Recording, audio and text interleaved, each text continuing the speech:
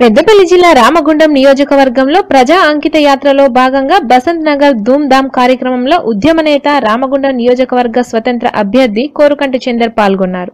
ఈ సందర్భంగా ప్రజలు ఆయనకు ఘన స్వాగతం పలికారు.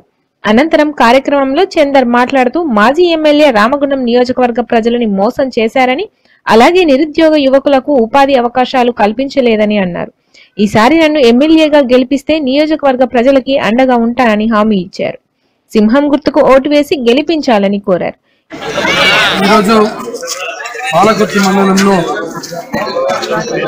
ఆశీర్వాద సభ నిర్వహించుకోవడం జరిగింది.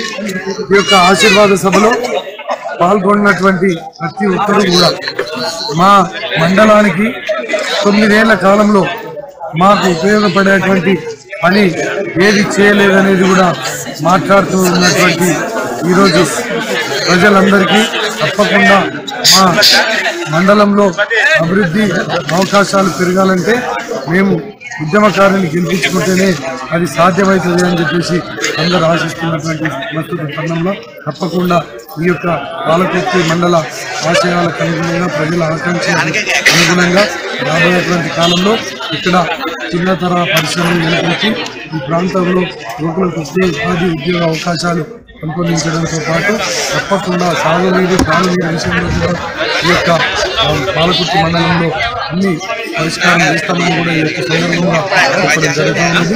తప్పకుండా ఈ యొక్క నియోజకవర్గంలో ఉన్నటువంటి పేరుకుపోయినటువంటి సమస్యలన్నింటినీ కూడా ఇక్కడ పరిష్కారం చేస్తామని కూడా ఈ సందర్భంగా చెప్తున్నాను.